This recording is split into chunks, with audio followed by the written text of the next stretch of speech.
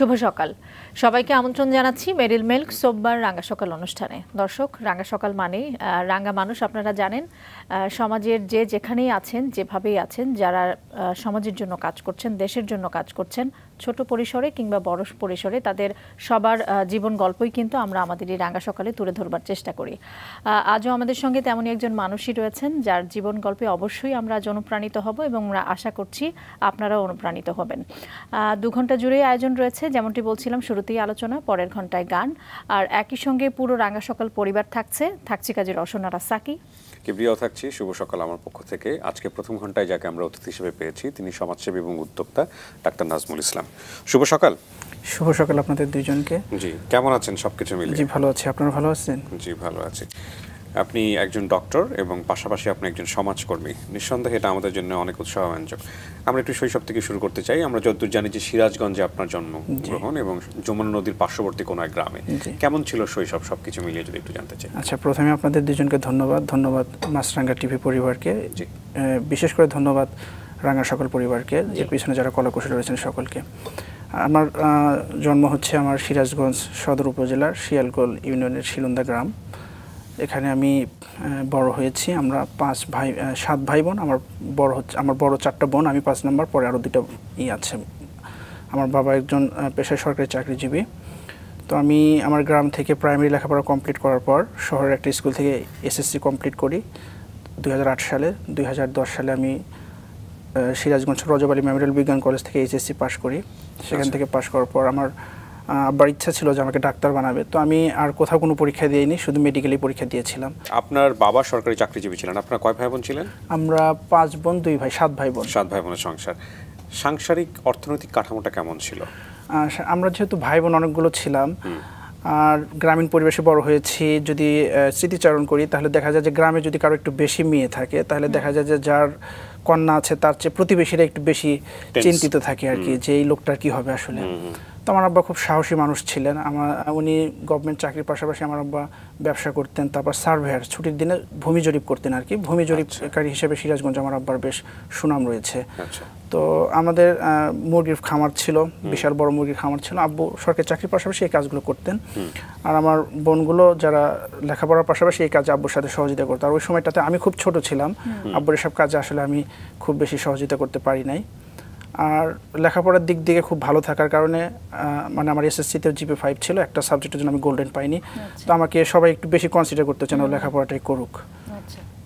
এটা ছিল এসএসসি আর এইচএসসিতে হচ্ছে আমি ফোর পয়েন্ট সেভেন জিরো পেয়ে বিজ্ঞান বিভাগ থেকে উত্তীর্ণ হই। তো তখন আমি আমাদের বাসাটা ছিল মূলত গ্রামে কিন্তু আমি পড়াশোনার কারণে শহরে অবস্থান করেছি। তার মানে খুব ভালো ছাত্র ছিলেন ছোটবেলা থেকে মোস্ট অবিডিয়েন্ট যেটাকে বলে। খেলাধুলা নিশ্চয়ই করতেন। হ্যাঁ, নাকি বাবার স্বপ্নটাকেই আসলে লালন করতেন সবসময় যে বাবা যেটা বলতেন যে ডাক্তার হব। খুব প্রাইমারি লেভেল যদি খেলাধুলা করি গ্রামের ভাষা যেটা মানে আমরা গ্রামের ভাষায় সিরাজগঞ্জে বলি ফেটটিন খেলা শহরে ভদ্র ভাষায় বলে মার্বেল খেলা। ওইটা প্রচুর খেলতাম তো গ্রামের লোকজন এই খেলাটাকে তো আসলে ভালো চোখে দেখে না। তো এটা নিয়ে ফ্যামিলি থেকে একটা সময় প্রেশার ছিল। একটা সময় খুব বাদ দিয়ে দিতাম এবং এটা নিয়ে খুব মজার মজার বিষয় আছে আর কি যখন নামাজ পড়তাম নামাজে দোয়া করতাম যে আজকে মার্বেল খেলা অনেক বেশি গেইন করতে পারে আর কি। তারপরে একটা সময় ওটা ছেড়ে দেওয়ার পর পর একটা সময় হচ্ছে ক্রিকেটের দিকে খুব ঝোঁক আসলো। তো ক্রিকেটের দিকে যখন ঝোঁক আসলো তখন যে খেলাগুলো খেলতাম প্রচুর এবং খেলা দেখার জন্য শহরে তখন তো গ্রাম লেভেলে ডিশ যায় নাই। আমরা শহরের ক্লাবগুলোতে এসে সাইকেল নিয়ে এসে খেলা দেখতাম। খেলা দেখে অনেক রাত্রে আবার বাসায় ফিরতাম। যদি বিদ্যুৎ চলে যেত এই মহল্লা থেকে আরেকটা মহল্লা যেতাম আরেক মহল্লার ক্লাবে অ্যাটেন্ড করতাম। এইভাবে খেলাগুলো দেখতাম আর কি। আপনি ডাক্তারি পড়াশোনা করলেন কোথায়? আমি ডাক্তারি করেছি গণস্বাস্থ্য সমাজভিত্তিক মেডিকেল কলেজ আমার সেশন হচ্ছে দুই হাজার দশ এগারো সেশন ওটা কি অনার্সই বলে বলে নাকি মানে এমবিবিএসই বলে ওটা এটা আসলে চিকিৎসা শাস্ত্র স্নাতক মানে এটা অনার্স আর কি বাট পাঁচ বছর অন্যান্য অনার্স যেহেতু চার বছর কোর্স এটা পাঁচ বছর কোর্স এটা অনার্স এটা কি ইকুইভ্যালেন্ট টু এমবিবিএস মানে এমবিবিএস ডিগ্রি এমবিবিএস জি এটা এমবিবিএস ফাইন আমরা আরও শুনব আপনি একজন ডাক্তার এবং একই সঙ্গে কি করে আপনি আজ একজন সমাজসেবী এবং উদ্যোক্তা হয়ে উঠলেন তার আগে ছোট্ট করে দর্শকদেরকে জানাব। দর্শক ডাক্তার নাজমুল ইসলাম প্রতিষ্ঠা করেছেন ডু সামথিং ফাউন্ডেশন নামের স্বেচ্ছাসেবী একটি সংগঠন। শুরুটা হয়েছিল দুই হাজার ষোলো সালে। মেডিকেল কলেজ পড়ুয়া কয়েকজনকে সাথে নিয়ে খোলা আকাশের নিচে বস্তিতে থাকা শিশুদের পাঠদানের মধ্য দিয়ে। ডু সামথিং ফাউন্ডেশনের শিক্ষা এবং সামাজিক দায়বদ্ধতা থেকে অ, আ, ক, খ শিক্ষা পরিবার এবং সোশ্যাল উইং নামক দুটি শাখা রয়েছে। শিক্ষার জন্য অ, আ, ক, খ শিক্ষা পরিবারের পরিচালনায় অ, আ, ক, খ স্কুল পরিচালিত হয়। বর্তমানে চারটি স্কুল রয়েছে, সিরাজগঞ্জ, সাভার, সাতক্ষীরা এবং বগুড়া জেলায়। এই স্কুলগুলো চার শতাধিক সুবিধা বঞ্চিত শিক্ষার্থী শিক্ষা গ্রহণ করছে। প্রতি বছর শিক্ষাবৃত্তিও দিয়ে থাকেন তারা। যমুনার দুর্গমচরে প্রাইমারি হেলথ কেয়ার সেন্টারের মাধ্যমে প্রত্যন্ত অঞ্চলের মানুষকে চিকিৎসা সেবা প্রদান করছেন নিয়মিত। ফাউন্ডেশনের মাধ্যমে আরও নানাবিধ কার্যক্রম পরিচালিত হয়। বন্যায় ত্রাণ দেয়া, শীতে কম্বল দেয়া হুইল চেয়ার দেয়া ঘর করে দেয়া, দোকান করে দেয়া, চিকিৎসা খরচ দেয়া, সেলাই মেশিন দেয়া ইত্যাদি কার্যক্রম পরিচালনা করেন তারা। হেলথ ক্যাম্পের মাধ্যমে এ পর্যন্ত প্রায় অর্ধ লক্ষ মানুষকে চিকিৎসা সেবা প্রদান করেছেন। করোনাকালীন ডু সামথিং ফাউন্ডেশন সবচেয়ে উল্লেখযোগ্য কার্যক্রম পরিচালনা করেছে। এই সময়ে তারা দেশের প্রায় পঞ্চাশটি জেলায় কাজ চালিয়ে গেছেন।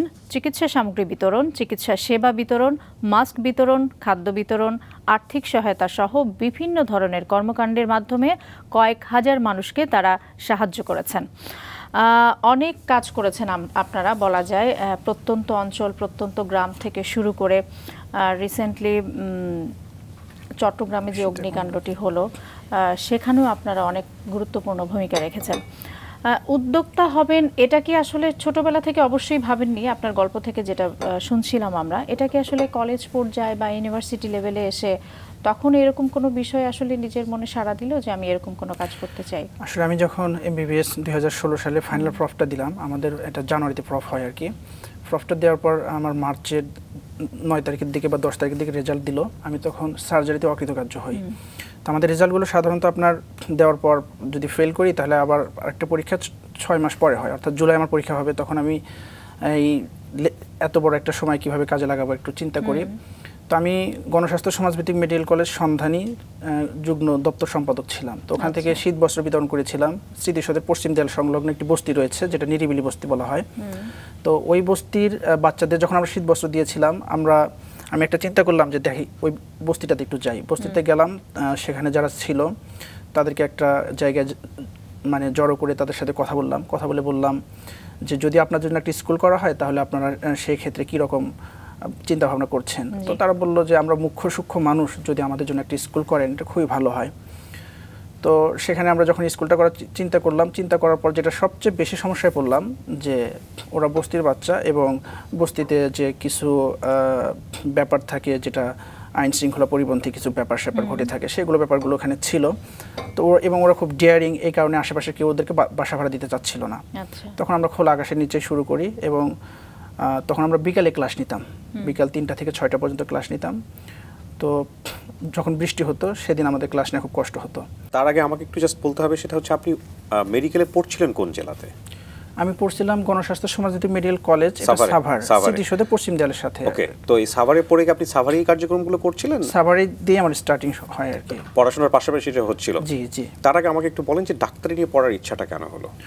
ডাক্তারি পড়ার ইচ্ছাটা হচ্ছে যে আমার আব্বুর ইচ্ছা ছিল আর কি।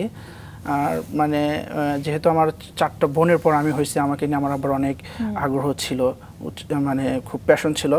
আর বেসিক্যালি হচ্ছে আমরা নদী সিরাজগঞ্জ জেলার কাজীপুর উপজেলা নদী পীড়িত এলাকার মানুষ ছিলাম আমরা।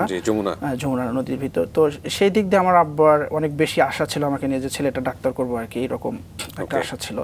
তো আব্বুর ইচ্ছাতে বেসিক্যালি আমার আশা হয় আর তো গণস্বাস্থ্যে যাওয়ার পরে ওখানে আপনি কেমন পরিবেশ পেলেন ডাক্তার হওয়ার জন্য? পড়াশোনার একটু অভিজ্ঞতা করে গণস্বাস্থ্য যদি আপনি বলা হয় গণস্বাস্থ্য বাংলাদেশের অন্যতম প্রাচীন একটি বেসরকারি মেডিকেল কলেজ এবং যদি আপনি বলেন যেখানে রুগী ফ্যাসিলিটিস বেশ আপনি প্র্যাকটিস করার জন্য অনেক রুগী আছে আপনার শেখার জন্য হিউজ পরিমাণ রুগী আছে। আর রুগীর খুব কাছে যাওয়ার সুযোগ। যেমন সরকারি হসপিটালগুলোতে আপনি বিভিন্ন ক্যাটাগরির রুগী পাবেন, রুগীর কাছে যাওয়ার সুযোগ থাকে। এটা গণস্বাস্থ্যের এই সুযোগটা রয়েছে। যেমন বিভিন্ন যদি আপনি একটু দামি মেডিকেল কলেজ বলেন সেখানে একটু যদি এলিট ক্লাস পার্সন ভর্তি হয় সেসব রোগীর কাছে যাওয়া বা তাদের বেড সাইড হওয়া এই রকম পারমিশনটা একটু খুব অল্প সুযোগ থাকে। বাট গণস্বাস্থ্যে এই সুযোগটা আপনার হিউজ পরিমাণ। গভর্নমেন্ট মেডিকেল কলেজে একজন স্টুডেন্ট যেরকম ফ্যাসিলিটিস পায় হয়তো আমরা গভর্নমেন্ট লেভেলের ওই রকম রোগী পাই না বাট আমি সুযোগের দিক দিয়ে তুলনা করতেছি ওই রকম রোগীর কাছে আপনি যেতে পারেন।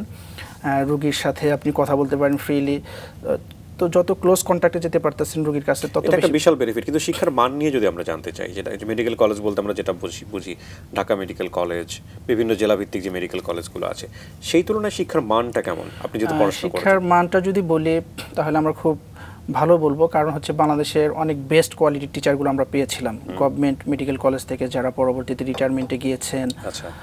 আবার অনেক টিচার ছিল যারা হচ্ছে আপনার এটাকে বলা হচ্ছে visiting professor visiting lecturer government কলেজের টিচার এসে আমাদের ক্লাস নিত। আর ঢাকার যেহেতু খুব পাশেই এই জন্য আমাদের টিচার সংকটে কখনো কখনো পড়তে হয়নি। সেশন জট বা অন্যান্য কোনো না এগুলো কিছু নেই আমাদের। পলিটিক্স বা রাজনীতি এখানে এগুলো কিছু নেই। এগুলো কিছু নয় এগুলো কিছু নেই। গণস্বাস্থ্য সম্পর্কে আমরা ইন যেটা জানি যে ওখানে মানুষ স্বাস্থ্যসেবা নেয় খুব সস্তায় পায় আর কি।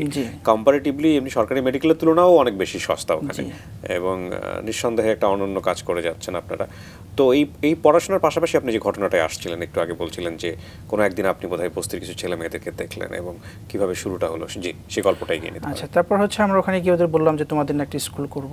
মানে এখানে আসলে আপনি তো শুরু করলেন। আপনার সঙ্গে আর কারা ছিল? এটা কি আচ্ছা। গণস্বাস্থ্যের পক্ষ থেকে?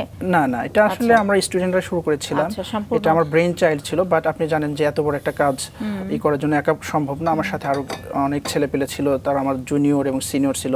বাচ্চাদেরকে আপনি দেখলেন এবং দেখে আপনার মনে হলো যে কিছু একটা করা উচিত। এই ব্যাপারটা আপনার মধ্যে কেন নক করল? আমরাও তো দেখি রাস্তাঘাটে অনেক সময় দেখি বাট আমাদের অধিকাংশ মানুষেরই তো নক করে না। মানে এমন কোনো বিশেষ কারণ কি আছে যেটার জন্য মনে হলো যে ঠিক আছে আমার জায়গা থেকে এদের জন্য কিছু করার আছে আচ্ছা এটা হচ্ছে আমি একুশে টিভিতে একটা প্রতিবেদন দেখেছিলাম একজন ইতালির নাগরিক ফাদার লুসিও। উনি সম্ভবত গুলশান বা এদিকে কোনো একটা বস্তিতে কিছু আমাদের এখানে এসেছিলেন মেবি হ্যাঁ কিছু কার্যক্রম করেন। তো ওনার প্রতিবেদনটা আমি একুশে টিভিতে দেখেছিলাম। সেখানে উনি পথ শিশুদের নিয়ে কাজ করেন। তো ওনার কাজটা যে অংশটা আমাকে মোটিভেট করছিল যে উনি একজন বিদেশি নাগরিক আমার দেশের শিশুদের জন্য করতেছেন তো আমি কেন করতে পারব না?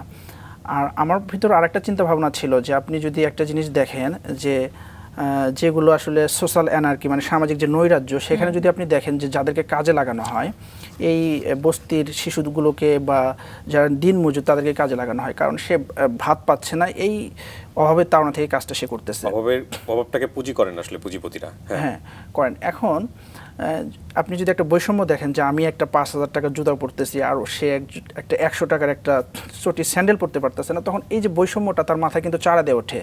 তখন তখন কি করতেছে সে? আমার জিনিসটা সে চুরি করে নিয়ে যাচ্ছে। অর্থাৎ আমি যদি ভালো থাকতে চাই তাহলে এদেরকে যদি সমাজের মূল স্রোতে আনতে পারি যদি সবাই আমরা ইকুয়ালিটি এবং ইকুইটি নিয়ে থাকতে পারি তাহলে হচ্ছে সমাজে একটা সমতা রক্ষা রক্ষা হবে। সেই ক্ষেত্রে এদেরকে সমাজের মূল স্রোতে আমাদেরকে নিয়ে আসতে হবে। এই চিন্তা থেকে আমি শুরু করি এবং তখন আমার মেডিকেল কলেজ যে যারা জুনিয়র ছিল সিনিয়র ছিল তো ফার্স্ট যখন আমি শুরু করব শুরু করার আগে তাদের সাথে একটা ফেসবুকে একটা গ্রুপ করা হয় মেসেঞ্জার একটা গ্রুপ করা হয় তাদের সাথে আমরা একটা আলোচনা করি।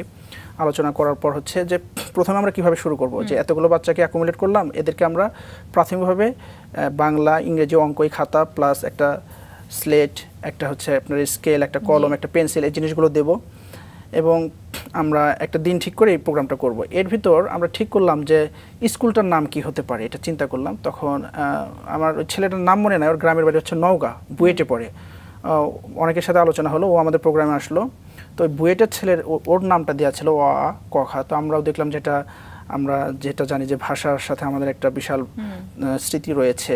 তো সেটার সাথে আমাদের সাথে একটু আবেগের সাথে জিনিসটা আসলো। আমরা তখন এই নামটা সবাই খুব আনন্দের সাথে অ্যাকসেপ্ট করলাম। এইভাবে আমাদের দুই হাজার ষোলো সালের উনিশে মে স্কুলটার যাত্রা শুরু হয়। তো যাত্রা শুরু হওয়ার পর আমরা যেটা দেখলাম যে কেউ ওদের বস্তির বাচ্চাগুলো ডিয়ারিং হওয়ার কারণে কেউ বাসা ভাড়া দিচ্ছে না। আমরা এক বছর পুরো খোলা আকাশের নিচে ক্লাস করলাম। ক্লাস করতে করতে একটা সময় আমরা একটা বাসা ভাড়া পেলাম। সেই বাসাটাতে এখন আমরা আছি।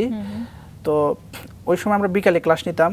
এরপর আমরা অফিসিয়ালি সকালে ক্লাসে আসলাম আসার পর আমরা সাভার উপজেলা শিক্ষা অফিস থেকে একটা অনুমোদন নিলাম যে আমার স্কুলের বাচ্চাগুলো পিএসসি দেওয়ার যাতে অনুমতি পায়। এই অনুমতিটা আচ্ছা। কি অনুমতি?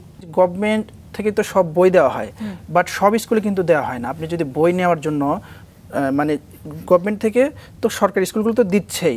বাট সব স্কুলে দেওয়া হয় না বলতে এটা বোঝাচ্ছে আমি এইটা যে আপনাকে অ্যাপ্লিকেশন করতে হবে। আপনি যদি আদার দেন গভর্নমেন্ট হন। ওই অ্যাপ্লিকেশন করার মধ্য দিয়ে যেই আপনি বই পাওয়ার অনুমতি পেয়ে গেলেন তার সাথে আরও কিছু কাজ করতে হয়। সেটা করলে অনলাইনে একটা অ্যাপ্লিকেশন করতে হয় ওনারাই করে দেয়। করলে জাস্ট আপনি একটা মানে প্রাথমিক পরীক্ষা দেওয়ার যে সে অনুমতিটা পেয়ে গেলেন। আপনি এই বিষয়গুলো জানলেন কোথা থেকে? কারণটা হচ্ছে আপনি তো এই এই বিষয়গুলো নিয়ে স্টাডি করতেন না।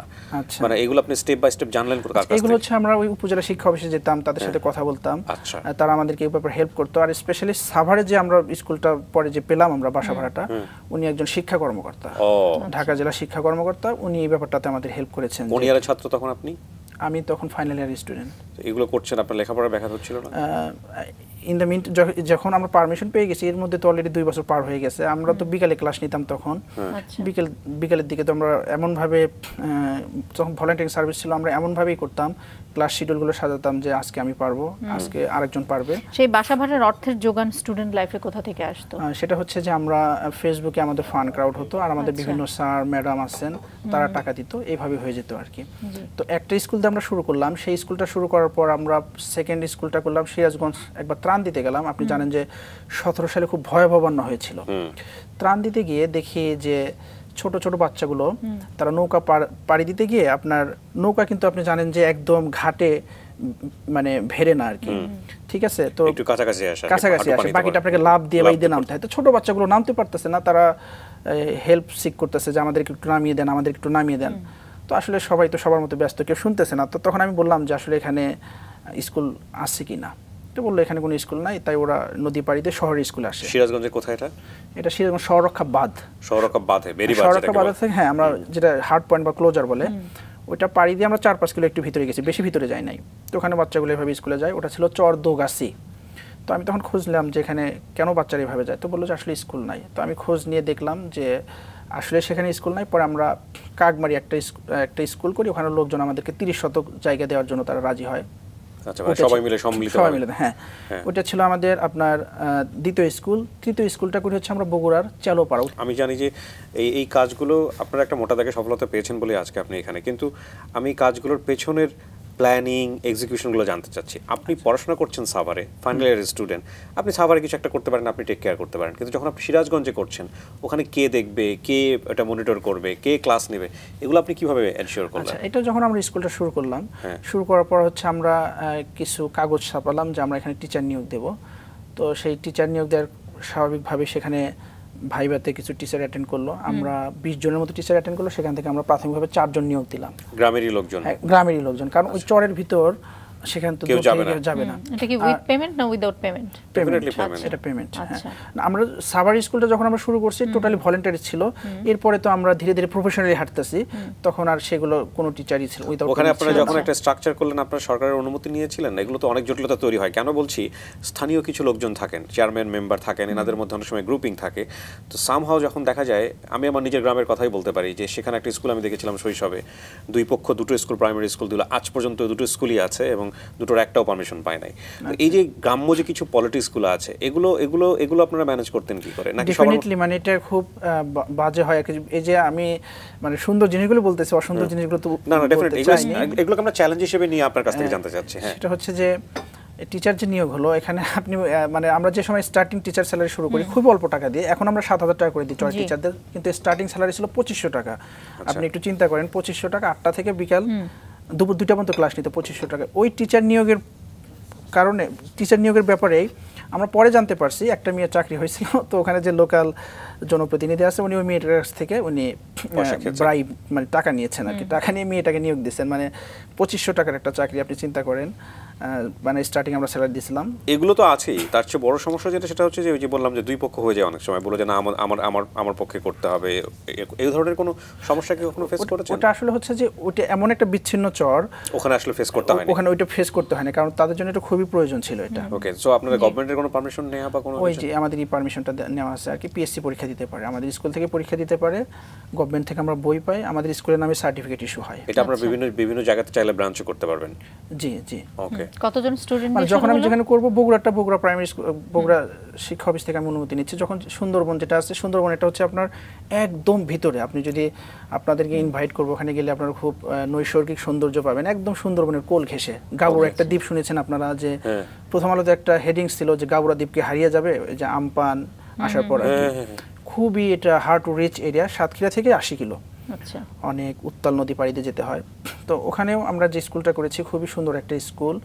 ওখানে আপনার ওই ওই ওখানেও কোনো স্কুল নেই। তো ওই স্কুলটাতে আমাদের আশি জন ছাত্রছাত্রী আছে ওইটাও আমরা গভর্নমেন্ট থেকে সাতক্ষীরা ওটা শ্যামনগর উপজেলার মধ্যে পড়ে শ্যামনগর উপজেলা শিক্ষা অফিস থেকে আমরা পারমিশন নিয়েছি। এই পারমিশনটা আসলে হচ্ছে যে এটা খুব সিম্পল একটা ব্যাপার। আপনি যাবেন ওই সরকার থেকে যে বই পাচ্ছেন ওই বই পাওয়াটাই আপনার পারমিশন মূলত বলা আচ্ছা, চলে আর আচ্ছা, কি।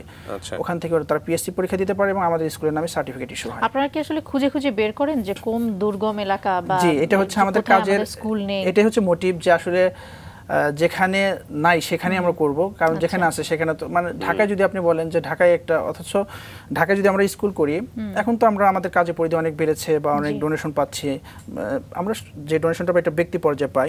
বাট এটা যদি আমরা ঢাকায় করতাম ডেফিনেটলি আমাদের অনুদানের পরিমাণটা অনেক বেশি হতো। কারণ। একটা কর্পোরেট প্রতিষ্ঠানের ম্যানেজার বা জিএম বা এমডি বলেন তার জন্য ঢাকায় একটা ট্যুর দেওয়া খুব সহজ হয় যে আমি একটু কল্যাণপুর বস্তিটা দেখে আসি বা গুলশান বস্তিটা একটু দেখে আসি বাট আমি তাকে চাইলেও কিন্তু আমার সাভারে নিতে পারি না। সিরাজগঞ্জ তো দূরে থাকুক। এখানে ইভেন আমার গেস্ট পাইতেও সমস্যা হয় যেতে চায় না আর কি কিন্তু আমার কথা হচ্ছে যে ঢাকায় যারা থাকে তারা অনেক বেশি ফাস্ট যেমন একজন ঢাকার যদি একটা দিনমজুর মানুষের কথা আমি চিন্তা করি ও জানে যে কোন মোড়টাতে গেলে আমি বেশি ভিক্ষা পাবো বা বেশি সহায়তা পাবো। গ্রামের মানুষ কিন্তু এই- এইসব প্রসিডিউর জানে না তারা বা সমাজ সেবা অফিস থেকে কীভাবে হেল্প পেতে হয় এই নিয়মগুলো তারা জানে না। তো এই জিনিসটা থেকে আমার কথা হচ্ছে যে যারা গ্রামের মানুষ বোঝে না বা যেখানে নেই আমাদের এটা হচ্ছে কাজের মূল লক্ষ্য থাকে আমাদের আর কি। মানে আমি শুনে খুব অবাক হচ্ছি আসলে। মানে রিমোট এরিয়াতে আপনারা স্কুল করছেন রিমোটলি সেটা ম্যানেজ করছেন ডেফিনেটলি এখানে ফান্ডিংয়েরও একটা ব্যাপার আছে সেখানে ডোনেশনও কালেক্ট করছেন। সো আপনাদের এই টোটাল স্কুল কতগুলো আছে এখন? চারটা চারটা। চারটে স্কুল চালাতে প্রতি বছর কি পরিমাণ অর্থের প্রয়োজন হয়? আপনার বারো মাস প্রায় অ্যারাউন্ড ফিফটিন লাখ টাকা লাগে আমাদের। চারটা স্কুলে? চারটে স্কুল। মানে পনেরো লক্ষ টাকা লাগে। প্রতি স্কুলে প্রায় লাখ টাকার বেশি লাগে। মানে চারটা মিলে চারটা মিলে মাসে হ্যাঁ। এর মধ্যে আমাদের বগুড়াটা বাসা ভাড়া দিতে হয় সাভারেরটা বাসা ভাড়া দিতে হয়। সিরাজগঞ্জ আমরা নিজেদের জায়গা জমি দিয়েছে। সাতক্ষীরাটাও স্কুলের নামে জমি দেওয়া আছে আচ্ছা তো এই যে আপনাদের এত টাকার প্রয়োজন হয় এগুলো কোথা থেকে আসে এগুলো হচ্ছে ম্যাক্সিমাম হচ্ছে আমাদের বাংলাদেশে যারা ডক্টর আছে বিশেষ করে জুনিয়র ডক্টর যারা তারা হয়তো বেশি স্যালারি পায় না বা তার মাসে বেতন থেকে পাঁচশো টাকা আপনার ই দিচ্ছে বা এক হাজার টাকা দিচ্ছে কেউ পাঁচ হাজার টাকা দিচ্ছে রেগুলার বেসিস দিচ্ছে। আচ্ছা। জুনিয়র ডক্টর জুনিয়র ডক্টরস যারা আবার কিছু বাংলাদেশের রিনন্ড স্যার ম্যাডাম আছেন যারা ডাক্তারি জগতে বাংলাদেশে এক নামে চিনবেন তারা হয়তো কেউ বলতেছে আমি পাঁচটা বাচ্চা স্পন্সর করতেছি আমি তিনটা বাচ্চা স্পন্সর করতেছি। এইভাবে আমাদেরকে বেসিক্যালি মানে মাসের খরচটা হয়ে যায়। এর ভিতর কিছু ডোনার আসে যেমন সাপোজ একজন আমার সাথে কথা বলতেছেন যে তার ভাই কানাডার একটা ইউনিভার্সিটি টিচার আমাদের সাভার স্কুলটা ভিজিটে যাবেন। এরকম ওয়ান টাইম যারা ভিজিটে আসে তারা এককালীন কিছু টাকা পয়সা আমাদের দিয়ে তার যায়। মানে আনস্টেবল একটা জায়গাটা জায়গা থেকে। থেকে, তাই না? কিন্তু আনস্টেবল একটা জায়গা থেকে আপনি যখন একটা স্টুডেন্টকে পড়াচ্ছেন আট দশ বছরের জন্য এনি কাইন্ড অফ মানে কমপ্লেক্সিটিস লাইক আপনার যদি করোনার কথা আমি বলি বা অন্যান্য জায়গাগুলোর কথা যখন আমি বলি, একটা বড় অঙ্কের অর্থ আপনি পেলেন না লম্বা সময়ের জন্য, তখন এটার ফিউচার কি দাঁড়াবে? আচ্ছা এটা আমি খুব প্রাউডলি বলতেছি। করোনার ভিতর আমাদের অন্যান্য যে কোনো প্রতিষ্ঠান আমি ছোট প্রতিষ্ঠান হয়ে আমাদের কোনো টিচারের স্যালারি বন্ধ ছিল না। আর এখানে আমি বলব যে এটা খুব অনুপ্রেরণার বিষয় যেহেতু আমরা অনেকে এখানে গ্রাম থেকে আসছি যে আপনি যদি গ্রামের স্মৃতিচারণে যান যে ছোটকালে যে গ্রামের মক্তবগুলো আপনি দেখেছেন যে মক্তবের টিচাররা কিন্তু এক মুঠো এক মুঠো প্রতি বাড়ি চাল থেকে দিয়ে মুষ্টি। মুষ্টি চাউল দিয়ে চালিয়েছে। তো আমি মনে করি fund is not a big issue এটা কোনো বড় ব্যাপার না। অদম ইচ্ছাটাই ব্যাপার। কারণ আমি দেখি যে এই ডোনার আসে চলে যাচ্ছেন উনি টাকা দিচ্ছেন না অনেকে। আবার নতুন একজন অ্যাড হচ্ছেন। সো কাজটা কন্টিনিউ করা মূল ফ্যাক্টর এই এই জায়গাগুলোতে কি কর্পোরেট প্রতিষ্ঠানগুলোকে অ্যাড করা যায় না? লাইক আপনি যে স্কুলটা করলেন যেমন সুন্দরবনের জায়গাটার কথাই যদি আমি বলি খুব রিমোটলি একটা স্কুল করেছেন। একটা কর্পোরেট প্রতিষ্ঠানের জন্য এরকম স্কুলের তিন চার বছরের খরচ একবার দিয়ে দেওয়া এটা কোনো ব্যাপারই না। তো আপনারা কি ওইভাবে চিন্তা করেছেন কখনো? আমাদের সাভার স্কুলটা শুরু থেকে একটা কর্পোরেট প্রতিষ্ঠান। এটা একটা আপনার মালিকটা স্প্যানিশ।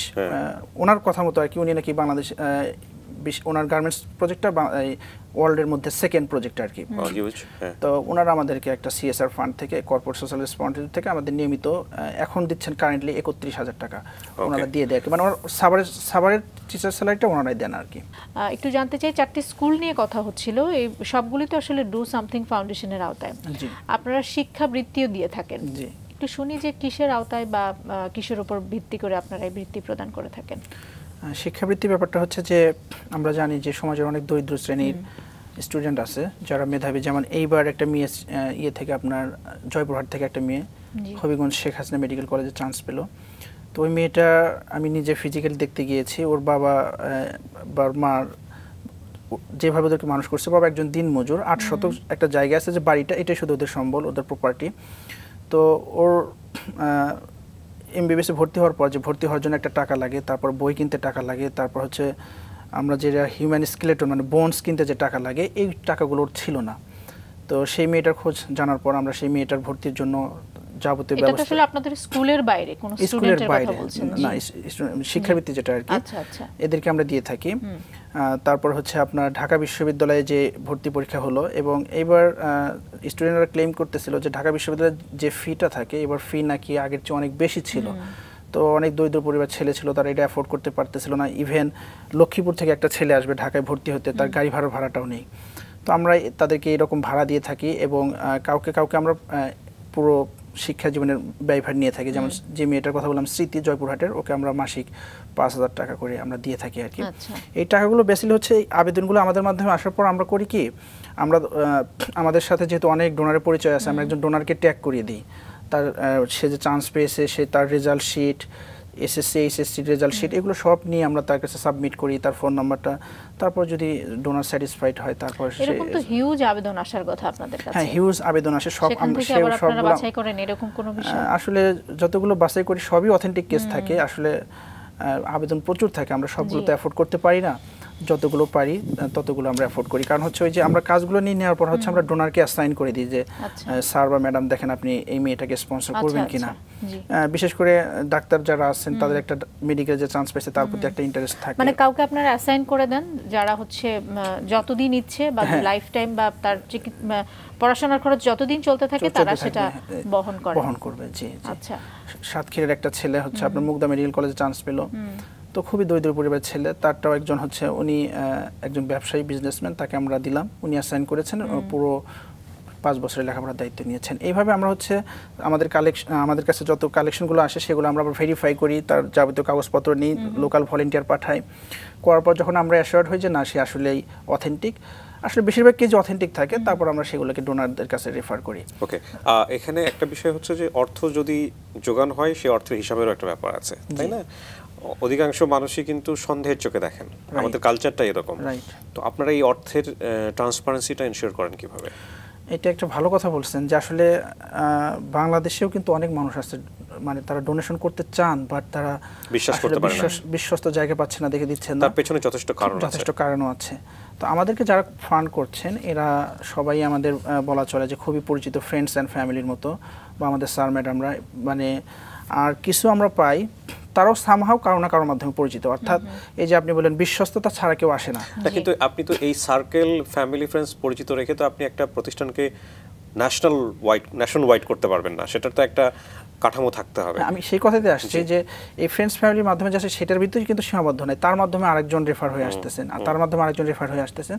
তো অর্থাৎ যেই আসে এক- একটু আশ্বস্ত হয়ে আসে। কেউ কারও না কারোর মাধ্যমে একটু পরিচিত হয়ে আসে। আর আমাদের কাজগুলো হচ্ছে খুবই অ্যাসাইন থাকে। সাপোজ আমি একটা হুইল চেয়ার দিলাম আমরা এখন পর্যন্ত চারশো তিরিশটা হুইল চেয়ার দিয়েছি ওই হুইল চেয়ার পিছনে লেখা থাকে যে হুইল চেয়ার প্রজেক্ট দুই হাজার বাইশ ডোনেটেড বাই বাট এটা আবার ডোনারের অনেক মানে এখন মানুষ তো এক একজনের এক এক রকম ইচ্ছা। অনেকে চায় যে না আমার নামটা দিও না।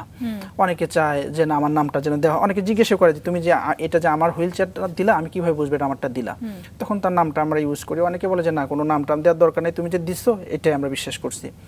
তো তারপরেও আমরা ইয়ের জন্য স্বচ্ছতা এবং জবাবদিহিতার জন্য আমরা সব নাম ইউজ করি আর কি যেমন আমাদের টিউবওয়েল প্রজেক্ট আছে সেখানে আমরা রেখি ওয়াটার প্রজেক্ট ডোনেটেড বাই অমুক এটা আমরা আবার ই করি। যে ডোনার চাচ্ছে যে তার নাম যেন না দেওয়া হয় তারপর আমরা নাম দিই। দিয়ে করি কি ওইটা তাকে ইনবক্সে বা হোয়াটসঅ্যাপে তাকে আমি দিয়ে দিচ্ছি যে এটা আপনারটা যেহেতু আপনি চাচ্ছেন না সোশ্যাল মিডিয়া আমি যদি ছবিটা আপলোড করতেছি আপনার নাম ছাড়াটা আমি আপলোড করতেছি। তো আমরা এইভাবে তাদের এবং আমরা বছর শেষে যারা মান্থলি ডোনার দেয় বছর শেষে তাদেরকে ডোনেশন দেয় বছর শেষে তাদেরকে আমরা একটা অ্যাকনোলজমেন্ট পেপার দিয়ে দিই যে আপনি এত টাকা দিয়েছেন। আবার যারা অন টাইম দিয়ে দেয় তাদের তাদেরকে আমরা সাথে সাথে দিয়ে দিই আর কি। তো আমাদের কাজগুলো খুবই পার্সন ওরিয়েন্টেড থাকে মানে Very good. পার্সন এটা দেখতে পারে আর কি। এই বিষয়গুলোর জন্য যে একটা অ্যাডমিনিস্ট্রেটিভ বডি লাগে না? আপনাদের তিন চারজন বা পাঁচজন লোক সবসময় অ্যাসাইন থাকতে হয়। তো এই এই এমপ্লয়ি কতজন আপনাদের? আমাদের টিচারগুলো যে প্রত্যেকটি স্কুলে তিন থেকে চারজন করে টিচার আছে। ফুল টাইম হ্যাঁ ফুল টাইম তারা দুইটা থেকে আটটা থেকে দুইটা পর্যন্ত ক্লাস নেয় তারা। আর যে আমাদের অ্যাডমিনিস্ট্রেশন যেখানে আছে এখানে হচ্ছে আমাদের চারজন ব্যক্তি আছে। এটা কি সেন্ট্রালি নাকি প্রত্যেকটা স্কুলে? না অ্যাডমিনিস্ট্রেশনটা তো হচ্ছে সেন্ট্রাল সেন্ট্রালি সো আপনারা কোথায় বসেন সেন্ট্রালি সাভার যে আমাদের প্রথম স্কুলটা এখানে এখানেই বসা হয় আর তো আপনি কাজ করেন এখন আমি যতদূর জানি বগুড়াতে। একটা প্রাইভেট হসপিটালে আপনি ওখানে প্র্যাকটিস করছেন। তারপরে আপনার হাসপাতাল হচ্ছে আপনার স্কুল হচ্ছে সুন্দরবনে আপনার স্কুল হচ্ছে আহ, সিরাজগঞ্জে প্লাস আপনার স্কুল হচ্ছে সাভারে। হ্যাঁ সাতক্ষীরাতে। তো এই এইগুলো আপনি কীভাবে ম্যানেজ করেন? আচ্ছা এটা তো এখন মনে করেন যে মানে এখানে বলে যে এখন ইন্টারনেটের কারণে একটা পৃথিবীটা একটা গ্লোবাল ভিলেজে দাঁড়িয়েছে। আমরা এগুলো আসলে দেখা যায় ইন্টারনেটের মাধ্যমে সব কিছু ম্যানেজ করি বাংলাদেশে একটা বিশাল বড় কর্পোরেট প্রতিষ্ঠান আছে তারা আমাদেরকে হেল্প করেন। আসলে তারা নাম চান না আসলে এটা আকিস গ্রুপ তারা আমাদেরকে হেল্প করেন। ও দেখা যায় যে আমরা তাদেরকে প্রজেক্ট অ্যাজ এ চেয়ারম্যান হিসেবে প্রজেক্ট প্রপোজালগুলো আমি লিখে সব আমি তাদেরকে জমা দেন করে- ওনারা ফান্ড করে দেয়। আমি করে ফান্ডটা করে দিই আমাদের যে ডিজাইন অ্যাকাউন্ট আছে তারপরে দেখাতে হয় না। আপনার বছর শেষে যে আপনি কতটুকু সাকসেস করেছেন? বছর শেষে না প্রজেক্ট ক্লোজ হওয়ার পর পরে তাদেরকে আমাদেরকে ই করতে হয় হিসাব সাবমিট করতে হয়। তাদের নিজস্ব অডিট আছে সেগুলো সেগুলোতে তারা অডিট করে। অডিটের যদি কোনো রিকোয়ারমেন্ট থাকে তারপর সেই রিকোয়ারমেন্টগুলো দেয়। যদি কোশ্চেন থাকে সাধারণত এরকম হয় না কখনো। মানে আমি বোঝাচ্ছি যে খুবই স্ট্যান্ডার্ড মেনটেন করে হয় আর কি। তাদের তো.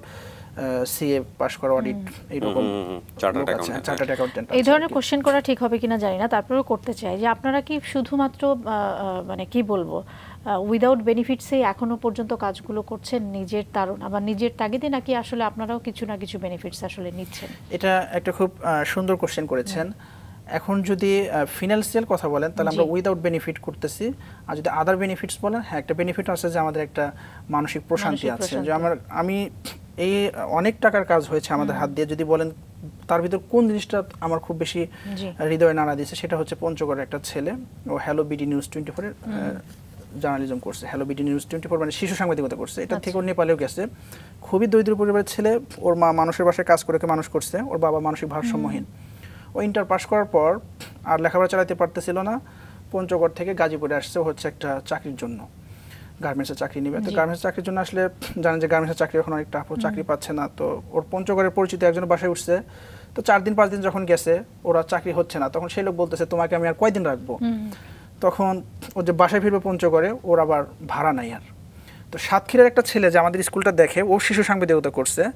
তো এখন ক্লাইমেট চেঞ্জ নিয়ে কাজ করে। ওই ছেলে ওই ছেলে আমার জানালো যে ভাই একটা ছেলে এরকম ইয়েতে আটকা পড়ল। গাজীপুরে আটকা পড়ছে। আপনি কিছু করতে পারেন কিনা? তো তখন গাজীপুর থেকে তো আমাদের সাভারটা কাছে তোকে বললাম যে তুমি তাহলে আশুলিয়া হয়ে সাভার আসো। সাভার আসার পর আমাদের সাভার স্কুলে তখন একটা টিচার প্রয়োজন ছিল। এই যে এক বছরের আচ্ছা। ঘটনা আর কি ওকে আমরা টিচার হিসেবে অ্যাপয়েন্ট দিই। দেওয়ার পর ছেলেটা কিছুদিন আগে বাংলাদেশের একটা ক্রীড়া সাংবাদিকতায় জয়েন করছে। আমি সঙ্গত কারণে নাম নিচ্ছি না। তো ও যাওয়ার সময় একটা কথা বলে গেছে আর কি যে ভাই আমার জীবনে যত উপকার আমি পাই না কেন ভাই আমি আমার জীবনে যে মুহূর্তটুকু তারপরে কি করলাম ওকে স্কুলে নিয়ে আসার পর বললাম যে তুমি জাতীয় বিশ্ববিদ্যালয়ে ভর্তি হও।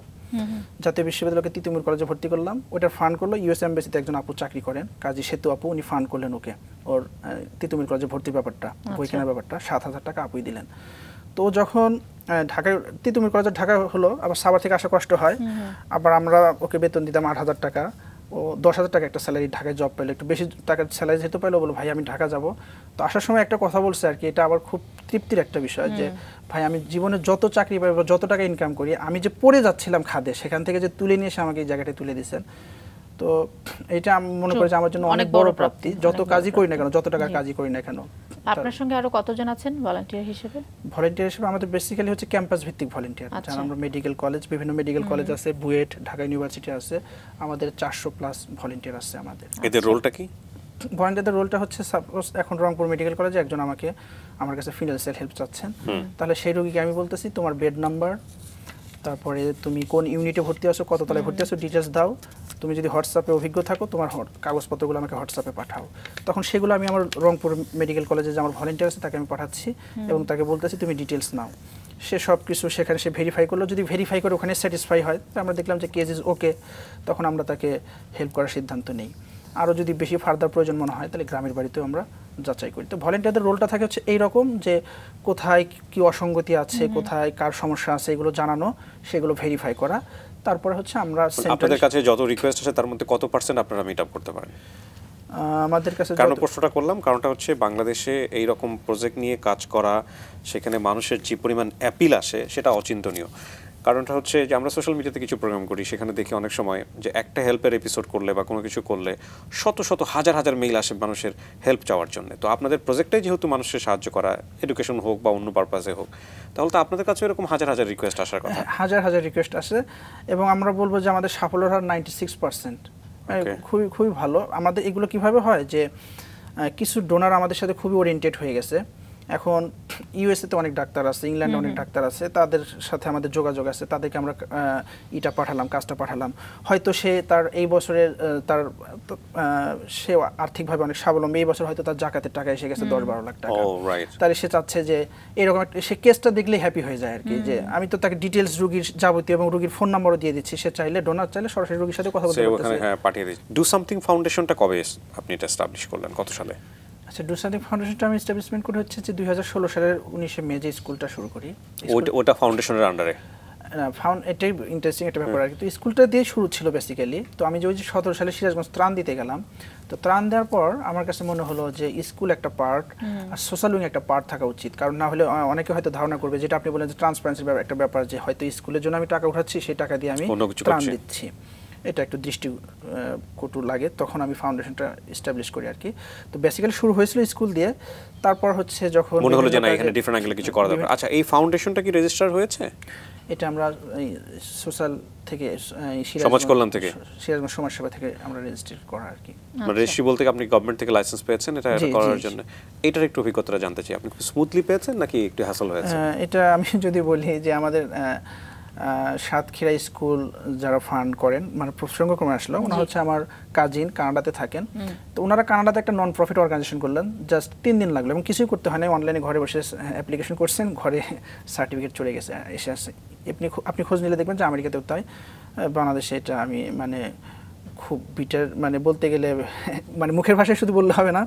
খুবই তিক্ত অভিজ্ঞতা আর কি আমরা যারা এখানে আসেন ফাউন্ডেশন করেছেন তাদের সবাইকে আমরা এই প্রশ্নটা করি। কারণ আমরা বিশ্বাস করি আমাদের অনুষ্ঠানটা হয়তো বা কোনো কর্মকর্তা কর্মচারী দেখবেন যারা এটার সঙ্গে জড়িত আছেন। এবং আমরা জানি যে এই যে বিটার এক্সপিরিয়েন্স এই বিটার এক্সপিরিয়েন্স অনেক মানুষ যারা স্টেপ নিতে চায়। বললে আপনার হবে মানে খুবই আমি জানি। কারণটা হচ্ছে যে অনেক মানুষই উদ্যোগ নিতে চান কিন্তু যখন চিন্তা করে যে এই পরিমাণ হ্যাসল পোহাতে হবে প্রথম কথা হচ্ছে সে অনেকেই ভালো উদ্দেশ্য নিয়ে আগাচ্ছেন। এই হ্যাসলের কারণে শেষ পর্যন্ত আর আগান না। আবার আমি অনেককেই চিনি যারা দীর্ঘকাল ধরে মানুষের সাথে কাজ করতেছেন শুধুমাত্র ফাউন্ডেশনের লাইসেন্স পাননি বলে তার ওই কাজ থেকে সরে গেছেন। আট বছর দশ বছর পনেরো বছর বিশ বছর করার পরে যখন মনে হয়েছে যে তার জন্য একটা রিস্ক হয়ে যাচ্ছে তার জীবনের জন্য তারপর সে ওখান থেকে কুইট করেছেন। তো আপনার অভিজ্ঞতাটা আপনি একটু বলেন আমাকে কত বছর লাগল কি করলেন? এটা হচ্ছে আপনার যেটা ব্যাপারটা হয় সেটা হচ্ছে যে গভর্নমেন্টের কিছু প্রসিডিউর আছে সেটার একটা সময় আছে। আর একটা আছে যে আপনার একটা অফিসের যে একটা কাজ আছে যে আপনার এটা একটা সাইন দিলে হয়ে যাবে। সেই সাইনটা এখন তারা কেন দিতে চান না? সেটা বোঝা যায় না। বোঝা যায় না যে কেন দিবেন না। তা আমাদের প্রায় অ্যারাউন্ড আপনার চার বছর লাগছে আর কি আমাদের। এই Around। মন্ত্রণালয়ে দৌড়াদৌড়ি করা ঘোরাঘুরি তার মানে ষোলো সালে শুরু হলো। আমরা তো মন্ত্রণালয়ে দৌড়াদৌড়ি না আমাদের হচ্ছে জেলা যে সমাজসেবা যে অফিসটা আছে সেখানে তাদের সাথে তার মানে ষোলো সালে শুরু করে আপনারা অ্যাপ্রুভ পেলেন মানে অলমোস্ট বিশ সালে। বিশ সালে। তারপর আমরা মানে যে বলি যে- আর কি। ভালো কাজ করা সহজ আসলে ভালো কাজ করা সহজ না। আমি মনে করি যে আমাদের দেশেও ডিফিকাল্ট আর কি অন্য দেশে তো আপনার এগুলোকে অ্যাপ্রিসিয়েট করা হয়। এবং এখন তো স্কলারশিপ এসব সোশ্যাল কাজের ব্যাকগ্রাউন্ডের কারণে এগুলো স্কলারশিপ দেওয়া হয়। বাংলাদেশে তো খুব একজন রিনন পার্সন আছে, আমি নাম বলে চিনবেন বাট নাম বলছেন। ওনার ছেলে গুলশানে একটা ই ছিল, যে রিক্সা লুঙ্গি পরে রিক্সা চালানো যাবে না। তো তখন কিছু এলিট ছেলে পেলে যায় ওখানে প্রতিবাদ করল যে কেন লুঙ্গি পরে রিক্সা চালানো যাবে না। তার ভিতরে ওই ব্যক্তির, ওনার ছেলেটাও ছিলেন, লুঙ্গি পরে আর কি। উনি ওইটার ব্যাকগ্রাউন্ডে স্কলারশিপ পেয়েছিলেন আর কি। ও ওই লুঙ্গি পরে একদিন লুঙ্গি পরে সে স্কলারশিপ পেয়ে গেল। আর আমরা মানে বছরের পর বছর পড়ছি আমাদের কোনো খোঁজ খবর একদিন লুঙ্গি পরে তা না, মানে ওটা একটা ব্যাকগ্রাউন্ড ছিল আর কি। ফাইন এটা আসলে কি এক একজনের নেটওয়ার্কিং এক রকমের? ও হয়তো ওই নেটওয়ার্কের সঙ্গে খুব ভালোভাবে ইনভলভ ছিল যে যার কাছ থেকে স্কলারশিপ আনাটা খুব ইজি তারপরে এখানে আরেকটা ব্যাপার করব কারণ আমাদের কাছে হিউজ আসে যারা বিদেশি লেখাপড়া করতে যাচ্ছে আমাদেরকে বলতেছে ভাইয়া আপনি একটু আপনার ফাউন্ডেশন একটু কাজ করছি আমাকে একটা ই দেন না। একটা দিয়ে দেন। প্রচুর পরিমাণে অ্যাপ্লিকেশন আসে আমাদের এবং তারা ওইটা নিয়ে দেশে বাইরে যাচ্ছে না। ওটা খুব জরুরি খুবই ম্যান্ডেটরি হ্যাঁ। আমি আমার এক বন্ধুকে জানি সে কিছুদিন আগেই তার একটা ছেলে অটিস্টিক এবং সে সুইডেনে চলে গেল। কিন্তু তার কাছ থেকে বারবার ডিমান্ড করছিল যে তুমি এরকম কোনো সোশ্যাল অর্গানাইজেশনে কাজ করেছ কিনা? সেটা সার্টিফিকেট নিয়ে আসো। সামহাও সে কাজ করে সার্টিফিকেট নিয়ে তারপরে সাবমিট করার পরে তার মাইগ্রেশন হলো। সো এগুলো বিদেশে অনেক ভ্যালু দেওয়া হয় অনেক অনেক ভ্যালু দেওয়া হয়। আপনারা অনেক প্রতিকূলতা নিয়ে কাজ করেন। এই যে ফাউন্ডেশনের কথা আসলো তাহলে গভর্নমেন্টের কাছেও নিশ্চয়ই আপনাদের লাইবিলিটি আছে যে আপনারা কি পরিমাণ ফান্ড কালেক্ট করেন এটা কোথায় ব্যয় করেছেন? বছর শেষে কি সেখানেও আপনাকে জব দিতে হয়? অডিট অডিট হয় আর কি। সেটা এটা সেশন থাকে জুন জুলাই জুন জুলাই একটা সেশন থাকে। ইয়ারলি সেটাতে অডিট হয় আর কি। অডিট করার পর তারা হচ্ছে আমাদের সেখানে অডিটের ইটা দিয়ে দেন এবং যখন আমরা রিনওয়াল করতে হয় তখন এই অডিটটা সাবমিট করতে হয়। এটা কি অডিটটা ওনারাই করেন না আপনারা করেন সাবমিট ওনারাই করেন? ওনারাই করেন। ওকে আমি এবার একটু ফিউচার প্ল্যান একটু জানতে চাই সবকিছু মিলিয়ে। অনেক কাজ করেছেন আপনারা খুব অল্প সময়ে। ভবিষ্যৎ আসলে কোথায় দেখতে চান? আচ্ছা এটার আগে যে আপু একটা কোশ্চেন করছে সেটা একটা উত্তর দিই। যে মানে শুধু সুন্দর কথাগুলো বললাম কিছু কষ্টের ব্যাপারও আছে। যে আসলে যেটা বললেন যে কেমন বাচ্চাদের ঝরে পড়ার হার কেমন এই করোনাতে আমাদের হিউজ পরিমাণ বাচ্চা একটাই হয়েছে স্পেশালি আমাদের সাভার স্কুলটা আর সিরাজগঞ্জ চর স্কুলটাতে এটা হয়েছে। অনেক বাচ্চার বিয়ে হয়ে গেছে। একটা বাচ্চা আছে ওর বাবা চারটা বিয়ে করছে তো খোঁজ নেয় না সে ড্রাইভার সে চায় না যে তার মেয়ে লেখাপড়া করুক। তো পঞ্চম শ্রেণি পর্যন্ত পঞ্চম শ্রেণি পর্যন্ত আনতে আমাদের অনেক কষ্ট হয়েছে। বাসার বিদ্যুৎ থাকে না তারপর চারটা বিয়ে করছে ট্রাকের ড্রাইভারি করে বা তাদের আরও আরও কিছু বাজে অভ্যাস আছে। তো মেয়েটার বাসায় বিদ্যুৎ নাই বিদ্যুৎ লাইন কেটে দিয়ে গেছে তাকে আমরা চার্জার লাইট কিনে দিলাম যে তুমি লেখাপড়া করো। এবং ওকে আমরা ওদের বাসায় আর্থিক সহায়তা করতাম খাবার টাবারও দিতাম। এইভাবে মেয়েটা পঞ্চম শ্রেণি পর্যন্ত নিয়ে আসলাম নিয়ে আসার পর করোনার ভিতর আমরা তো সব মানে প্রতিদিন তো বাচ্চাদের টাচে দিতে পারি না যে করোনায় তো স্কুল বন্ধ আছে যাই নাই। তো সারেন টাইম আমরা স্কুলে যাওয়ার পর দেখি যে মেয়েটার বিয়ে হয়ে গেছে আর কি। ওর নাম হচ্ছে রহিমা। সিরাজগঞ্জ চরেও এরকম বিয়ে হয়ে গেছে আবার প্রচুর বাচ্চা লেখাপড়া বাদ দিছে আর কি। আর বগুড়াতে আমাদের এই সমস্যা হয় নাই। আর সাতক্ষীরাটা শুরু করছে হচ্ছে আপনার এই বছরের জানুয়ারিতে শুরু করছে।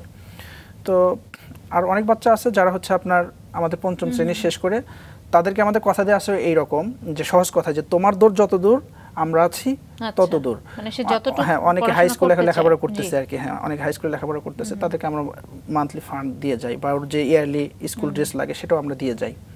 তার মানে ষোলো থেকে এখন চলছে বাইশ প্রায় ছয় বছর আপনার এই সাপোর্টটি দিয়ে চলেছেন এছাড়াও তো আপনাদের বেশ কিছু হেলথ ক্যাম্প রয়েছে। হ্যাঁ, ভুল না করে থেকে প্রায়। পঞ্চাশের উপরে। সেগুলো সম্পর্কে যদি একটু ছোট্ট করে শুনতে চাই কি বিয়ার কোশ্চেনে আসার আগে। আচ্ছা। আমরা মেডিকেল ক্যাম্প যেগুলো করেছি সেগুলো হচ্ছে আমরা খুব হার্ড টু রিচ এরিয়াতে করি। মানে যেখানে সাধারণত এমবিবিএস ডাক্তার পুষতে পারে না এবং আচ্ছা। তারাও এখন যদি একজন এমবিবিএস ডাক্তার দেখাতে হয় ছয়শো টাকা ভিজিট লাগে তারা এটা অ্যাফোর্ড করতে পারে না। তো শরীরে একটা জটিল রোগ নিয়ে তারা থাকে। আমরা এই ক্যাম্পগুলো করার মাধ্যমে প্রাথমিকভাবে তাদেরকে ওষুধ দিই আর যেটা জটিল রোগ তাকে আমরা বলি যে আপনার এই চিকিৎসাটা দেখানো হবে না আপনাকে এটার জন্য মেডিকেল কলেজে আসতে হবে। তো সাপোজ আমরা যদি নওগাঁ বা জয়পুরহাটের আশেপাশে করি তাহলে আমরা রেফার করি যে বগুড়া বা রাজশাহী মেডিকেল কলেজ আর যদি আমরা কুড়িগ্রামের দিকে করি লালমনিরহাটের দিকে করি তাহলে আমরা রেফার করেছে আপনার রংপুর মেডিকেল কলেজ আচ্ছা। এবং এখানে তাদেরকে আমরা বলি যে অমুক ডিপার্টমেন্টে যাবেন আমাদের নাম্বার থাকল যখন যাবেন আমাদের ছেলেপেলে আপনাকে হেল্প করবে। তো দেখা যায় যে অনেকে আসে অনেকে আবার আসে না। বেশিরভাগই আসে না তারা।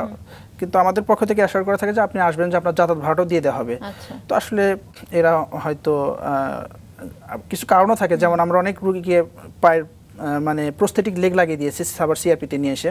আচ্ছা। তো একজন পঞ্চগড় থেকে আসছে তো পা লাগানোর জন্য কিন্তু একটা সার্টিন টাইম লাগে কিছু ব্যায়াম দেয় কিছু সময় লাগে। সে দশ দিন যাওয়ার পর বলতেছে আমি আর থাকতে পারব না। কেন? আমি তো ভিক্ষা করে খাই আমার তো ইনকাম লস হচ্ছে আর কি। তো কিছু আর্থিক ব্যাপারও থাকে কারণ হয়তো তারা আসতে পারেন না। জি। ওকে এটার এটা এটার বাইরেও আপনারা আরও বেশ কিছু কাজ করে থাকেন যেটা হচ্ছে যে দরিদ্র ফ্যামিলিদেরকেও আপনারা কোনো না কোনোভাবে সাপোর্ট দিয়ে থাকেন। এগুলো আসলে মানে কিসের ভিত্তিতে করেন আপনারা? আমরা আসলে ওই যে যেটা বললাম যে আমাদের কাজগুলো খুবই ফিল্ড ওরিয়েন্টেড আমাদের কাছে অ্যাপ্লিকেশন আসে। যেমন আমরা গুলিস্তানের একটা লোক উনি ফল বিক্রেতা ছিল ওনার পা কেটে গেছে তো উনি আর ফল বিক্রি করতে পারেন না। ওনাকে আমরা কেরানীগঞ্জে একটা দোকান করে দিলাম। এরকম আমাদের কাছে অ্যাপ্লিকেশন আসে এবং এই কাজগুলো আপনার এত অ্যাট্রাকটিভ থাকে ডোনারকে দেওয়ার সাথে সাথে সে কাজটা লুফে নেয় যে তার পা নাই দেখতেই পাচ্ছে তার দুই হাত নাই। তো এই মানুষগুলো খুঁজে বের করে আমরা তাদেরকে রিহ্যাবিলিটেট করি। আর হচ্ছে রিক্সা ভ্যান গরু ছাগল এগুলো দিয়ে আমরা আরেকটা বিশেষ প্রজেক্ট আমরা করি সাতক্ষীরা বাঘবিদ্যা যেটা আমাদের স্কুল আছে। ওই সুন্দরবনে মধু মানে মৌয়াল বলে যাদেরকে মধু সংগ্রহ করতে গিয়ে তারা বাঘের আক্রমণে নিহত হয়। তাদেরকে আমরা গরু ছাগল এগুলো দিয়ে থাকি। আর হচ্ছে আপনার হুইল চেয়ার তারপর হচ্ছে টিউবওয়েল প্রজেক্ট তারপর হচ্ছে যে আমাদের চিকিৎসা প্রজেক্ট আছে আর কি। স্পেশালি ভাইয়া বগুড়া জেলা স্কুলের একটা ছেলে রেইন নাম ওর রেনাল ট্রান্সপ্লান্ট হবে আর কি। আমরা একটা হ্যান্ডসাম ফিগার ওকে দেবো বাট একটা লিগাল ইস্যুতে সে আটকে আছে। লিগাল ইস্যুটা হচ্ছে ওকে ডোনার ম্যানেজ করতে হবে। তো আমাদের কথা হচ্ছে যে তুমি যদি ডোনার ম্যানেজ করতে পারো আমরা- ফিটা হসপিটালে পে করে দেবো আর কি। তো এর পাশাপাশি হচ্ছে আমাদের খাদ্য প্রজেক্ট আছে আমরা যে এই রোজাতেও আটটা জেলাতে আপনার চার হাজার লোককে আমরা খাবার দিচ্ছি আর কি। কীভাবে দিয়েছেন এটা? এটা পুরো ফ্যামিলিকে আপনার প্রতি জেলায় পাঁচশো পরিবার করে। আপনারা ফুড সার্ভ করে দিয়ে আসছেন হ্যাঁ, মানে? ছত্রিশশো চল্লিশ টাকা প্যাকেজ ছিল পুরো রোজার মাসে যেন এদেরকে রোজা নিয়ে মানে বাজার নিয়ে কোনো চিন্তা করতে না হয়। হয়। প্রতি আটটা জেলাতে আমাদের প্রোগ্রাম ছিল এটা আর কি। সিরাজগঞ্জ বগুড়া জয়পুরহাট ঠাকুরগাঁ খুলনা ঝিনাইদহ আর হচ্ছে আপনার ঠাকুরগাঁ লালমনিরহাট। সো ফিউচার প্ল্যানের দিকে আমরা আসি আমাদের হাতে সময় একেবারেই কম। ফিউচার প্ল্যানটা হচ্ছে ভাইয়া আমরা যেটা জানি যে আমাদের নর্থ বেঙ্গলের ভিতর যে আপনি একটা পরিসংখ্যান দিয়ে কথা শুরু করি সেটা হচ্ছে যে বাংলাদেশের যত আইসিইউ আছে করোনার ভিতরে আপনার যে সংকটটা দেখছেন তার ম্যাক্সিমামই ঢাকায়। এরপরে যদি ধরেন চিটগাংয়ে আছে এরপরে যদি ধরেন সিলেটে আছে। বাট আমাদের রাজশাহী বা রংপুর যদি ধরেন আমাদের নর্থ বেঙ্গল রিজনটা এখানে আইসিইউ বেডটা অনেক কম। আর আপনার আমি আমি তো এখন বগুড়ায় আছি প্রায় দুই বছর ধরে। এখন দেখি যারা ঢাকা আছে তারা একটা সবাই ফেসবুকে স্ট্যাটাস দেয় যে ঢাকা ছেড়ে যাব। Dhaka is now dead city এত জ্যামের কারণে। তো আমার কথা হচ্ছে যে রংপুর রাজশাহী মিলে যে ষোলোটা জেলা আছে এই ষোলোটা জেলার মানুষকে যেন ঢাকায় আসতে না হয় আমাদের ইচ্ছা আছে ইনশাল্লাহ আমরা একটা খুবই স্পেশালাইজড হসপিটাল করব যেটাতে আপনার ক্যান্সার ইউনিট ডায়ালাইসিস ইউনিট সবগুলো থাকবে মানে মাল্টি লেভেল কেয়ার থাকবে আর কি। এটা আমরা হসপিটালটাতে যেখানে গরিব মানুষ যারা আছে তারা যতটুকু সামর্থ্য তাদের অথবা ফ্রি অফ কস্ট আর যারা সলভেন্ট তারা অবশ্যই যেটা ফি আসে সেই টাকা দিয়ে তারা চিকিৎসা পাবে। এটা হচ্ছে আমার একটা হসপিটাল করার একটা ইচ্ছা। স্বপ্ন। আর চৌষট্টিটা জেলাতে আমাদের অ ক খ স্কুল এটা করার ইচ্ছা। আর হচ্ছে আমাদের যে দুর্গম এলাকায় যেমন সিরাজগঞ্জ চরে আমাদের একটা স্বাস্থ্যকেন্দ্র আছে। দুর্গম এলাকাগুলোতে আমাদের স্বাস্থ্যকেন্দ্র করা আর কি। আর আমাদের বিশেষ করে সাতক্ষীরাতে বিশেষ করে প্ল্যান আপনি যেটা জানেন যে সাতক্ষীরাতে আপনি আল জাজিরা ডয়সে ভেলে ওরা রিপোর্ট করছে যে ওখানকার মহিলারা আপনার প্রচুর গর্ভপাত হচ্ছে। তারা রিপ্রোডাক্টিভ ক্যাপাসিটি হারিয়ে ফেলতেছে যে ওদের পানির যে লবণাক্ততা বেড়ে যাচ্ছে ওখানে আমরা এখন পর্যন্ত তিনটা আপনার ওয়াটার প্লান্ট স্থাপন করছি। আমাদের ইচ্ছা আছে যে এই ওয়াটার প্লান্টটা মিনিমাম ওখানে আমরা যেন পঞ্চাশটা ওয়াটার প্লান্ট করতে পারি। ভাই আপনি এটা দেখলে খুব খুবই আপনার কষ্ট লাগবে যে মানুষ পানির জন্য কত কষ্ট করে। মাইলকে মাইল তারা চলে হ্যাঁ। একটা ই নিয়ে চলে যাচ্ছে আর কি তারা। এবং রাস্তাগুলো কত খারাপ। এটা খুবই ভালো কাজ এবং আমার মনে হয় যে এই বিষয়গুলো অনেক বেশি মিডিয়াতে আসা উচিত। আপনি যেভাবে বর্ণনা করছিলেন সেগুলোর ভিডিও চিত্র যদি আমরা দেখতে পারতাম তাহলে তো আবেদনটা আরও মনের মধ্যে তৈরি হতো। তো আমার মনে হয় যে যে এই যে একটু আগে বলছিলাম যে আপনাদের হাত ধরেই পরিবর্তন আসবে বাংলাদেশে বেশি বেশি করে সোশ্যাল মিডিয়াতে এই বিষয়গুলো আসা উচিত। বিশেষ- বিশেষ করে সোশ্যাল মিডিয়াতে যখন কোনো এরকম ইস্যু চলে আসে সেটার যে সমাধান আসে বিদ্যুতের গতিতে সমাধান আসে বিভিন্ন সাইট থেকে আসে। তো আমরা এক্সপেক্ট করব যে আপনারা এগুলো বেশি বেশি করে গণমাধ্যমে নিয়ে আসবেন এবং বেশি বেশি করে মানুষকে সচেতন করবেন। বাংলাদেশের যে গ্রোথটা হচ্ছে সেই গ্রোথটা যাতে মাস পিপুলের কাছে যায় সেই অ্যাডভান্টেজ যাতে তারা পায় সেই প্রত্যাশা রেখে আমরা শেষ করতে চাই। একই সাথে আপনার জন্য অনেক অনেক শুভকামনা। আপনাদের দুজনকে ধন্যবাদ। শুভ- শুভকামনা। জি।